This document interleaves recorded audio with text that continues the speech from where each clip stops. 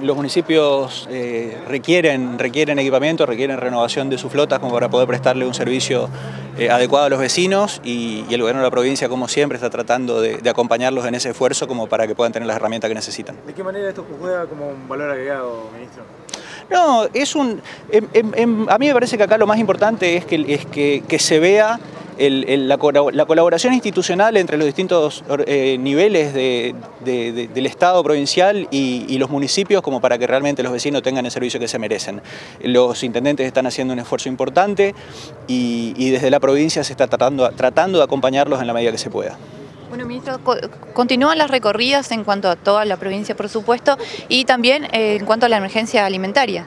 Sí, así es. Eh, en, estos, en estos días se están, se están inaugurando algunas obras que, en distintas localidades de la provincia se han, se han, finalizado. Se están poniendo a disposición de los vecinos estas obras que, también representaron un, esfuerzo para, la provincia y hoy por hoy ya son concreciones. Esta tarde eh, vamos a estar con, el gobernador y vicegobernador en, en Campo Viera, en Campo Grande, eh, mañana en Pozo Azul. Hay una, una, agenda, una agenda importante y, por sobre todas las cosas lo más importante es que son, son obras que, los vecinos pueden empezar a disfrutar de inmediato. ¿Qué solicitan más los intendentes en esta coyuntura? ¿Qué es lo que están pidiendo? ¿Qué más? Los, intendentes están pidiendo, están pidiendo acompañamiento.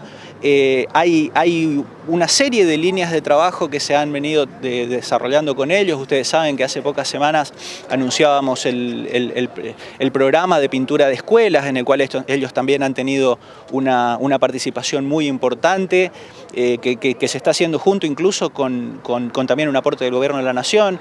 Eh, lo que están pidiendo los intendentes es que se los acompañe.